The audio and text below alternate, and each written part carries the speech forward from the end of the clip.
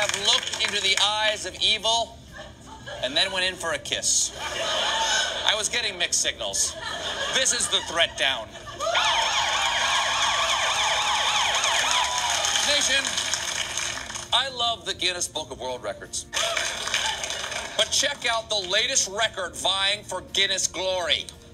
Two men in New Jersey have set the record for the longest continuous kiss.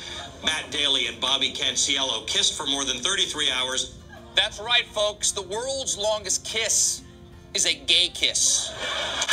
This brings me, folks, this brings me to threat number three record breaking gays. These gays are destroying the traditional sanctity of straight world records. The only time two dudes should have a record together is if they're joined at the torso or are the fattest twins on motorcycles. Nation, we must, we must keep our records from falling to the gays. There were two fraternity guys that came up, and I remember hearing them. They said, Oh, two dudes kissing? I don't want to see two dudes kissing. Those same two guys came back the next day when we finished, and uh, my friend came over and pointed them out to me, and they said, Those two guys came back, and they said, We were wrong yesterday. We have mad respect for what they're doing right now because they totally made it. Um, so you can change people's minds. And that's something that I've tried to carry with me over the years, that even when someone is totally a hater um, and they don't uh, believe in who you are as a person, not just how you present yourself, but they're saying, I don't believe that you're a person. And I am Matty Daley, and we are both students at the College of New Jersey. We were doing homework, we were taking a break watching MTV. I'm sitting there like, wow, we should break a world record for something. It'd be really cool. Also at the time, I had a mad crush on someone on the real world, and I thought if I did something really cool, they would want to meet me too. And didn't end up meeting that person, but that's a story for another day. We have to be standing the entire time. There are no sitting, no rests or breaks. We are only allowed to consume liquids through a straw. We can't consume solid foods.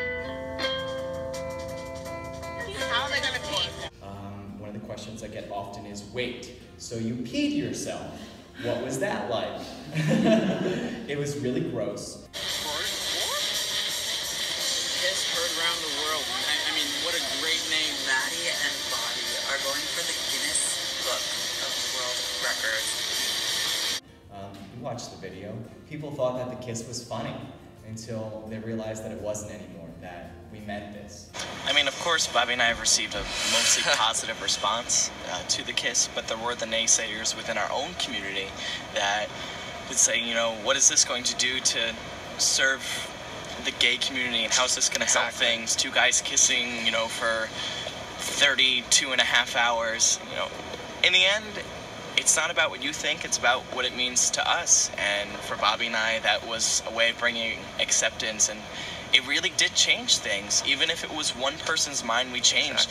Matty and Bobby set a world record for longest kiss ever on Ustream last night. Everyone was tweeting me.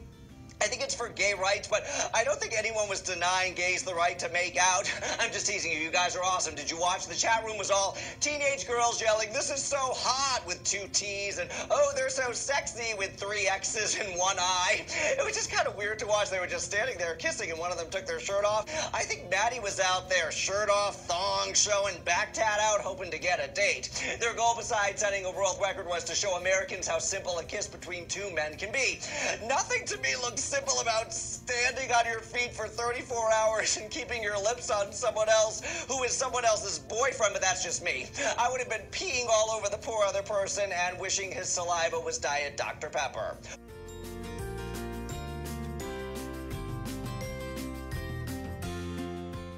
We had a question over here. Um, yeah, sure. So I was introduced to um, your story actually through the book. I'm a huge Dave Levithan fan. So um, my question was, what was the experience of like finding out that David Levithan was writing a book kind of based off this experience like? Did, did you have like any conversations with him or?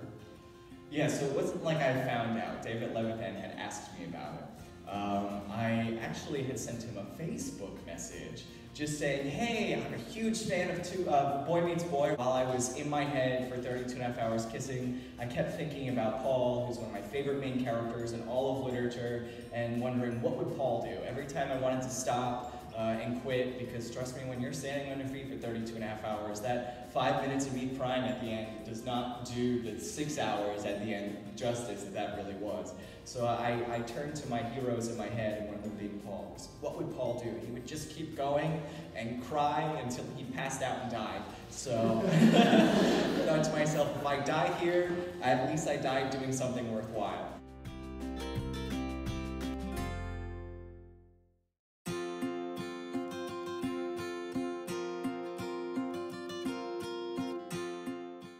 So I think my takeaway to young and old people is to keep reading and keep educating yourself and keep unlearning all the terrible things that we've learned growing up because there is such a more awesome future that we can learn about uh, if we try to do that every day. Every day I try to learn one new thing um, and remind myself of what that is the next day.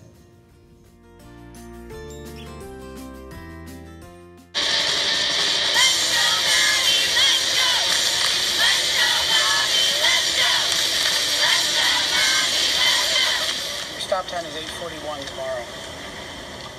Any more questions? Last chance, going once, going twice. All right, I'm gonna blow you all a kiss.